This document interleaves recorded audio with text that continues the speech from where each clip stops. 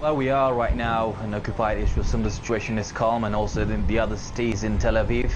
Also the situation is calm, but Israelis, just as a precaution, just deployed some air defense systems both in Jerusalem also in Tel Aviv. We know that last year uh, uh, groups in Gaza Strip, they even um, uh, sent some rockets to some cities, Tel Aviv, even to Haifa and also some parts of uh, Jerusalem in here. That's why Israelis are taking precautions and they deployed some air defense systems in these cities where we are right now. But the main uh, problem right now is the southern cities of Israel and according to latest reports, fresh rocket sirens uh, heard in southern city of Sderot. We know that since yesterday, as we've heard from Nizar Sadawi's report, the situation turned into a tit-for-tat type of situation. Israel started the operation they called Breaking Dawn and they said that their main aim is to hit some targets of uh, Palestinian Islamic Jihad in Gaza Strip. But since then, uh, some groups in uh, Gaza Strip, except for Hamas, this is very important, sent some projectiles and also rockets to Israel and Israel has been intercepting those rockets and projectiles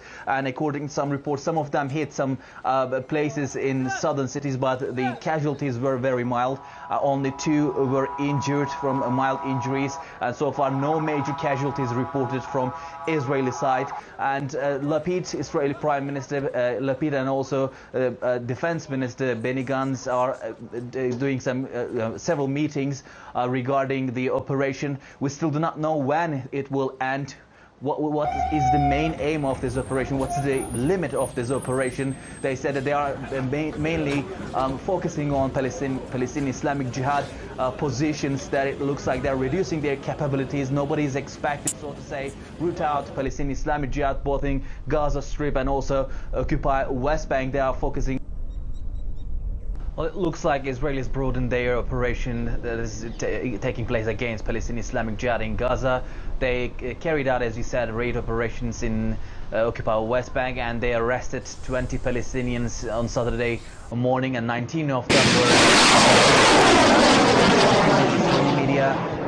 fact that these operations are very important. They are not very significant part of the ongoing operation that is called Operation Breaking Dawn that is taking place against uh, Palestinian Islamic Jihad a group in Gaza Strip. It's basically a message to Palestinian Islamic Jihad uh, basically saying that Islamic Jihad is trying to create a kind of uh, deterrence uh, equation against Israel, preventing Israel to conduct some arrest operations uh, to members of Palestinian Islamic Jihad and Israel is still uh, continuing its uh, arrest operations against those members living in occupied West Bank. That was the message sent by Israel from Israel to Palestinian Jihad. Uh, according to Israeli media. When we look at the overall situation, uh, since yesterday, the operation has turned into a tit-for-tat type of situation. Israel is still continuing its operations and it is offensive in Gaza Strip, as we've heard from uh, Nizar Sadawi. Uh, but what we see that there are also some rockets and also projectiles fired from Gaza Strip to southern cities of Israel is still happening according to some reports. Iron Dome intercepted some rockets over Sderot, city, city of Sderot it's very close to uh, Gaza border and also rocket siren sound in Gaza border communities uh, currently right now but so far no major casualties were reported from Israeli side.